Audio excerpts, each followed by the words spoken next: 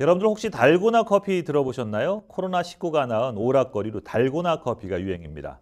400번 저어서 만드는 커피로 국내 SNS에서 유행이 시작돼서 현재는 전 세계적으로 인기를 끌고 있습니다. 코로나19 여파 속에 무료하고 답답한 집에서 가족들과 함께 만들어 보면 좋을 것 같은데요. 최슬기 아나운서가 직접 만들어서 소개합니다. 사회적 거리두기로 집에서 보내는 시간이 늘면서 인기를 끈 달고나 커피가 세계로 뻗어나가고 있습니다. 달고나 커피는 지난 1월 KBS 신상 출시 편스토랑에서 배우 정희루 씨가 마카오를 방문했을 때 처음 소개됐었죠. 당시 정희루 씨가 마카오의 한 음식점에서 커피 가루와 설탕, 물을 400번 저어 만든 커피를 마시고 달고나 맛이 난다 라고 표현을 했는데 국내에서는 이를 변형한 달고나 커피 만들기가 유행하고 있습니다.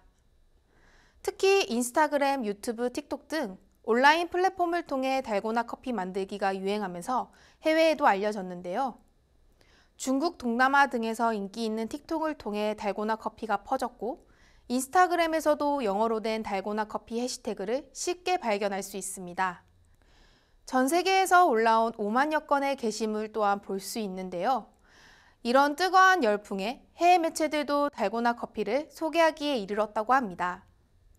인스턴트 원두 커피 2스푼, 설탕 2스푼, 뜨거운 물 조금을 넣고 숟가락이나 거품기로 빠르게 휘저어 크림처럼 만든 후 우유나 물과 섞어 마시는 것이 기본 레시피입니다. 저도 지난 주말 400번 저어 만드는 달고나 커피에 도전해 보았는데요.